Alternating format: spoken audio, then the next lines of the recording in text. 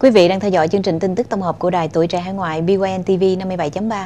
Thuyền Nga cùng toàn ban biên tập xin kính chào quý vị khán thính giả. Sau đây là phần tin Việt Nam. Nhưng trước hết, Quốc Nam từ trong nước có bài tường trình về việc các doanh nghiệp đang trong tầm ngắm của thanh tra thuế năm 2012. Xin mời Quốc Nam.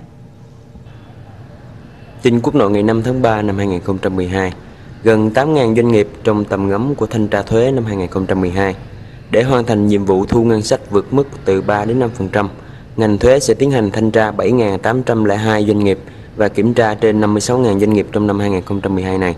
Tổng cục thuế mới đây có báo cáo công tác thanh tra kiểm tra thuế, chống chuyển giá, thu hồi nợ động thuế năm 2011 và giải pháp thực hiện năm 2012.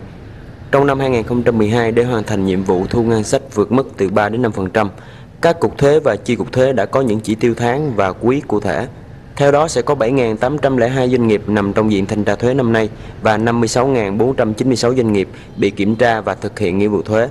Báo cáo của Tổng cục Thuế cho biết, thời gian vừa qua, tỷ trọng nợ thuế trên tổng thu ngân sách nhà nước có xu hướng giảm qua các năm, cụ thể năm 2008 là 9,5%, năm 2009 là 7,7%, năm 2010 7,3% và đến năm 2011 còn 6,9%. Tuy nhiên, tình hình nợ thuế năm 2011 vẫn tiếp tục tăng 29,5% so với năm 2010. Tỷ lệ này năm 2010 chỉ đạt 17,9% so với năm trước đó. Trong đó, nợ chờ xử lý tăng 7,7% so với năm 2010 và nợ có khả năng tăng thu 33,3% so với năm trước. Một số địa phương có nợ năm 2011 tăng trên 50% so với năm 2010, bị Tổng cục thuế điểm danh là An Giang, Bắc Ninh, Bình Phước, Cao Bằng, Đắk Nông, Điện Biên, Hà Tĩnh, Hải Dương, vân vân. Nguyên nhân của tình trạng này, theo lý giải của Tổng cục Thuế, do tình hình kinh tế khó khăn, thị trường bất động sản đóng băng khiến nhiều doanh nghiệp lâm vào thua lỗ, phải chiếm dụng vốn lẫn nhau và nợ động thuế. Số tiền nợ của đối tượng này chiếm 72,3% tổng số nợ thuế, trong đó nợ trên 90 ngày chiếm 63,3%.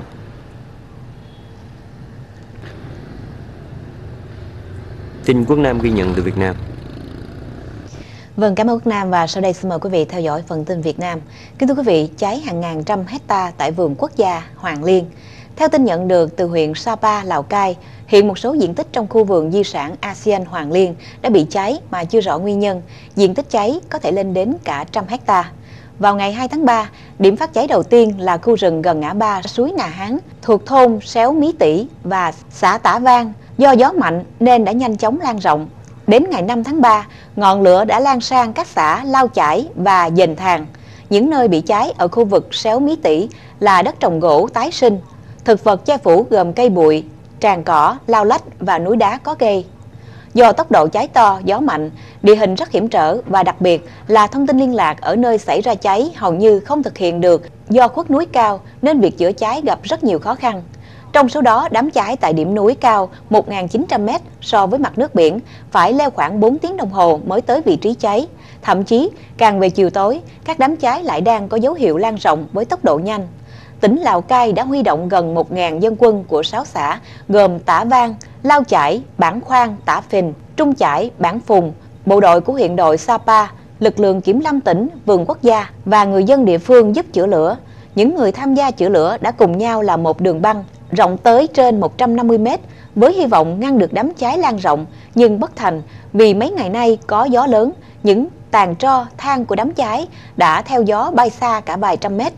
Vườn quốc gia Hoàng Liên đã phát hàng trăm can nhựa loại 10 lít để người dân cộng nước lên điểm cao 2.022 mét chữa cháy rừng.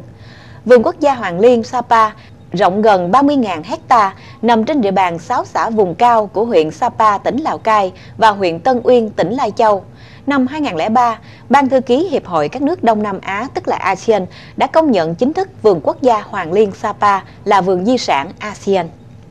Và kính thưa quý vị, gần 3 tấn thịt gà hư thối được vận chuyển cho trường tiểu học. Trong ngày 4 tháng 3, khi cảnh sát giao thông chặn một chiếc xe khách Xuân Trang thì phát hiện chiếc xe này vận chuyển gần 3 tấn thịt gà làm sẵn đã bốc mùi hôi thối. Tài xế khai được thuê đem giao cho một trường tiểu học. Chiếc xe